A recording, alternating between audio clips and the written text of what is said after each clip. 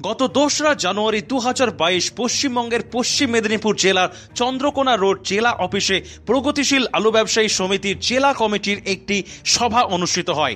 ওই দিন পশ্চিম মেদিনীপুর জেলার সমস্ত ইউনিটের সহমত অনুযায়ী জেলা কমিটি এই সিদ্ধান্তে উপনীত হয় যে জানুয়ারি মাসে ব্যবসায়ীরা কোনোভাবেই আর বাড়তি হিমঘর ভাড়া দেবেন না। যেহেতু ডিসেম্বরের প্রথমে স্টোর ভাড়া বৃদ্ধি পেয়েছিল, তাই এক মাসের মধ্যে পুনরায় ভাড়া বৃদ্ধি কোনোভাবেই সম্ভব নয়। হিমঘর মালিক সংগঠনের তরফ থেকেও জানানো হয়েছে, তারা জানুয়ারি দশ থেকে বারো তারিখ পর্যন্ত কোনো বাড়তি ভাড়া নেবেন না।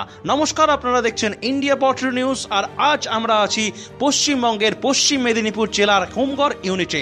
এখানে আমরা হোমগড় এলাকার আলু সংক্রান্ত বিস্তারিত তথ্য জেনে নেব এই ইউনিটের সম্পাদক মহাশয়ের কাছ থেকে। চলুন শুনে নেব কি বলছেন উনি। তার আগে আপনারা যারা আলু চাষ বা আলু ব্যবসার সাথে যুক্ত, তারা আলু সংক্রান্ত যাবতীয় তথ্য পাওয়ার এখনই আমাদের ইউটিউব চ্যানেলটি সাবস্ক্রাইব করুন এবং আমাদের ফেসবুক পেজটি লাইক করুন। স্যার আপনার নাম? আমার নাম বংশীপাল স্যার আপনাদের হোমগড় ইউনিটে আপনি কোন পদে আছেন? হোমগড় বগলিডি ইউনিটে আমি সেক্রেটারির পদে আছি। স্যার আজ রেডি আলুর দাম কি হচ্ছে? আজ রেডি আলু জ্যোতি আলুর দাম এগারোশো দশ থেকে এগারোশো কুড়ি টাকা আর রেডি কেবাইশ আলু এগারোশো পঞ্চাশ থেকে এগারোশো ষাট টাকার মধ্যে। পঞ্চাশ কেজি হিসাবে দামটা যদি একটু বলেন। পঞ্চাশ কেজি হিসাবে দাম আপনার ধরুন পাঁচশো ষাট টাকা জ্যোতি আলুর দাম আর কেবাইশ আলুর দাম ধরুন ওই পাঁচশো আশি টাকা। স্যার জ্যোতি এবং কেভাইস ছাড়া আর কোনো আলু পাওয়া যায় এখানে?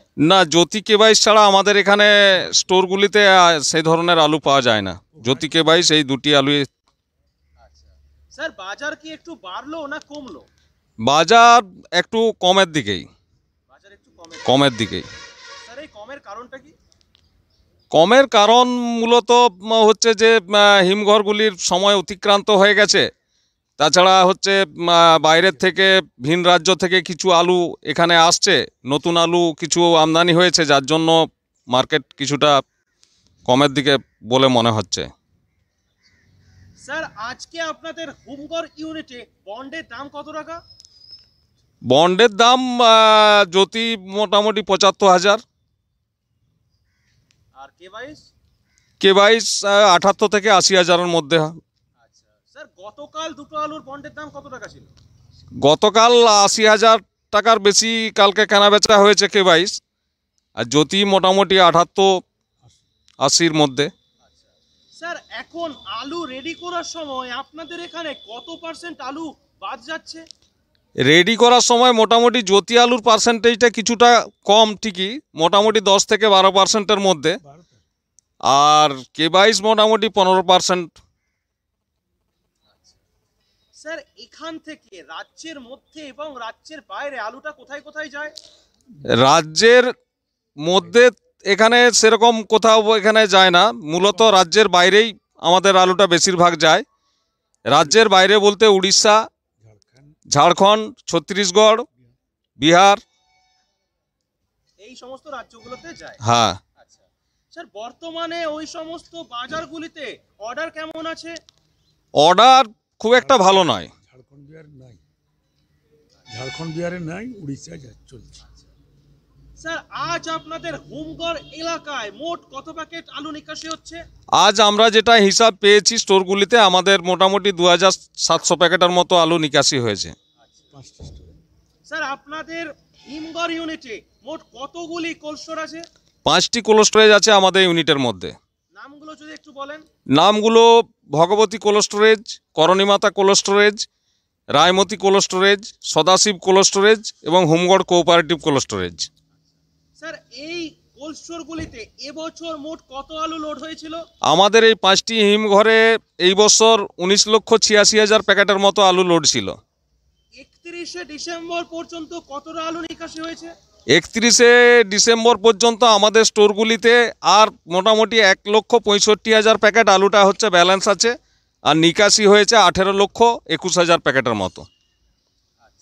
এখনও কত প্যাকেট আলু মজুদ আছে? এক লক্ষ পঁয়ষট্টি হাজার প্যাকেটের মতো আলু এখনও মজুদ আছে। ডিসেম্বর মাসে নিকাশি কেমন হলো? ডিসেম্বর মাসে নিকাশি আমরা যেটা হিসাব করেছিলাম মোটামুটি ওই আট থেকে ন পার্সেন্টের মতো আলুটা নিকাশি হয়েছে ডিসেম্বর মাসে। স্যার একটা গুরুত্বপূর্ণ বিষয়ে আপনার কাছ থেকে জানতে চাইব আপনার মতামত। গতকাল আমরা দেখলাম বাঁকুড়া জেলা হিমঘর মালিক সংগঠন ও পশ্চিমবঙ্গ প্রগতিশীল আলু ব্যবসায়ী সমিতি একটি বৈঠকে বসে সিদ্ধান্ত নিয়েছে এখনও যে আলু মজুদ আছে, তা আগামী দশ তারিখের মধ্যে বের করে নেওয়া হবে এবং এই সময়ের জন্য কোনো বাড়তি ভাড়া লাগবে না। আপনাদের পশ্চিম মেদিনীপুর জেলায় হিমঘরে মজুদ থাকা আলুর ব্যাপারে কি সিদ্ধান্ত হয়েছে? আমাদের পশ্চিম মেদিনীপুর জেলা কমিটির সভা গত পরশু দিনে ছিল, দু তারিখে চন্দ্রকোনা রোড আমাদের জেলা অফিসে। সেখানে হচ্ছে আমাদের সমস্ত ইউনিটের থেকেই মতামত গ্রহণ করা হয়েছিল জেলা কমিটির সভায় এবং তাতে করে সকলেই মত দিয়েছেন যে আমরা বাড়তি ভাড়া আর কোনোভাবেই হচ্ছে দিতে রাজি নই।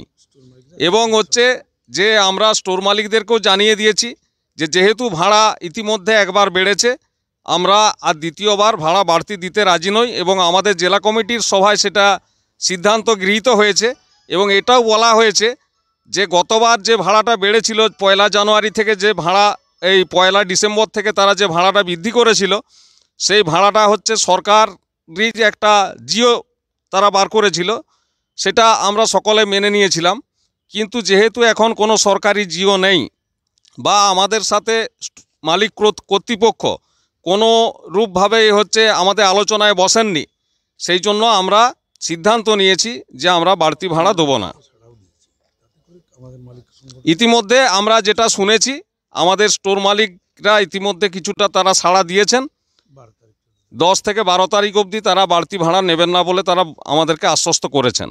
এই ভগবতী দাঁড়িয়ে আছে এর বলে গেল আমরা এখন ভগবতী স্টোরে দাঁড়িয়ে আছি বলুন উনি কি বলতে চাইছেন বলুন বলো না ভগবতী স্টোরে হ্যাঁ এই যে বর্তমানে আমরা যে ভগবতী কোল্ড স্টোরেজে দাঁড়িয়ে আছি তার মালিক ছিলেন তার উনার মালিকের সাথে আমাদের কথা হয়েছে উনি বলেছেন দশ থেকে বারো তারিখ অবধি আমরা বাড়তি ভাড়া কোনো নেব না।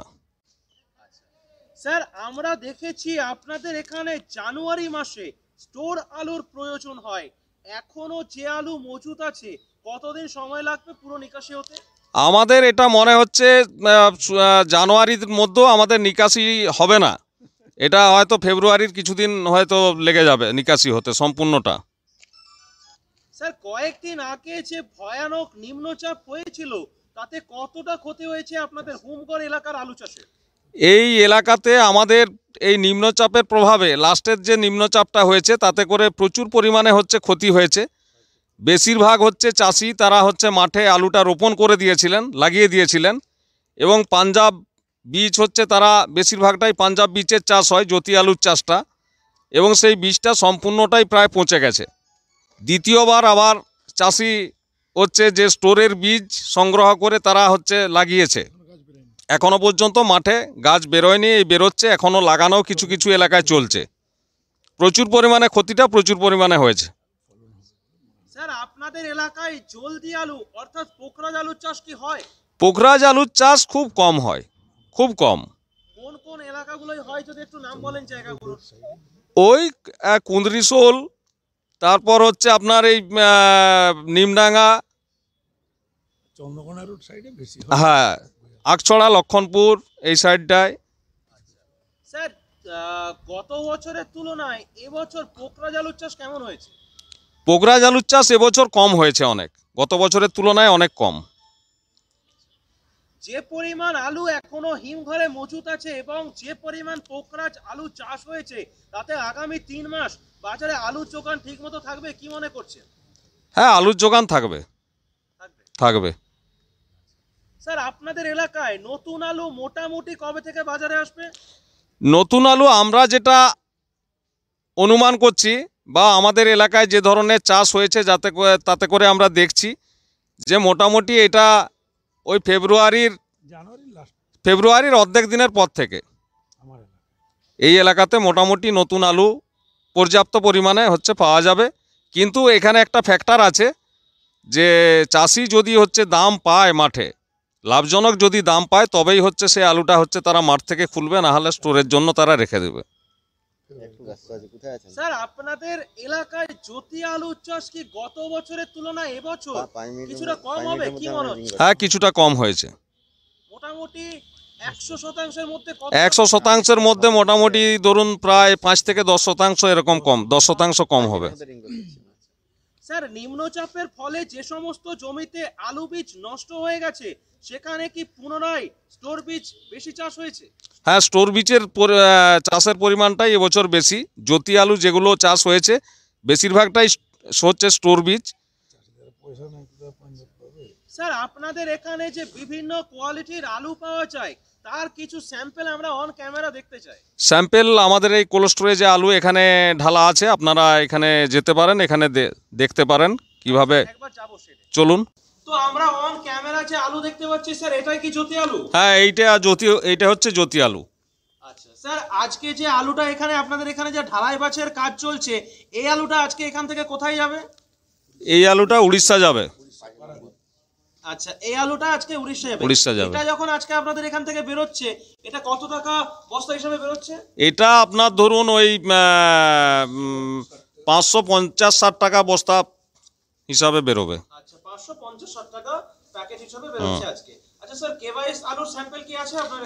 আলু আজকে এখানে ঢালা নেই কিন্তু এখানে রেডি করা আছে। তো দর্শক বন্ধুরা আমরা অন ক্যামেরা দেখতে পাচ্ছি যে কেবাইস আলুর স্যাম্পেল তো স্যার এই আলুটা আজকে এখানে যে বস্তাবন্দি হয়েছে এটা আজকে কোথায় পাঠানো হচ্ছে? এই আলুটা মূলত হচ্ছে আমাদের এখান থেকে ছ- নম্বর দিকে যায়। মূলত টাটা টাটা জামশেদপুর টাটা রাউরকেল্লা তারপর হচ্ছে আরও ছ নম্বর দিকে যে মার্কেটগুলো আছে সেগুলোতে যায়। আচ্ছা স্যার এটা যখন আজকে এখান থেকে বেরোচ্ছে কত টাকা বস্তা হিসাবে বেরোচ্ছে? এটা ছশো আশি থেকে পঁচাশি টাকা বস্তা এই হিসাবে বেরোচ্ছে আজকে। পাঁচশো আশি পঁচাশি। হ্যাঁ। আশি থেকে পঁচাশি টাকা বস্তা হিসাবে এটা বেরোচ্ছে। স্যার এই দুটো আলু স্যাম্পলই আজকে আপনাদের এখানে আছে হ্যাঁ হ্যাঁ হ্যাঁ। আচ্ছা। স্যার অসংখ্য ধন্যবাদ আপনাকে এবং আপনাদের ইউনিটের সবাইকে আমাদের ইন্ডিয়া পত্র নিউজ চ্যানেলের পক্ষ থেকে এই প্রতিবেদনটা দেওয়ার জন্য। ধন্যবাদ। আমরাও আপনাদের আপনাদেরকে ধন্যবাদ জানাচ্ছি এখানে আসার জন্য। এবং আমাদের প্রতিবেদন সংগ্রহ করার জন্য আমরা হোমগড় বগলিড্ডি আলু ব্যবসায়ী সমিতির পক্ষ থেকে আপনাদেরকে অসংখ্য ধন্যবাদ জানাচ্ছি।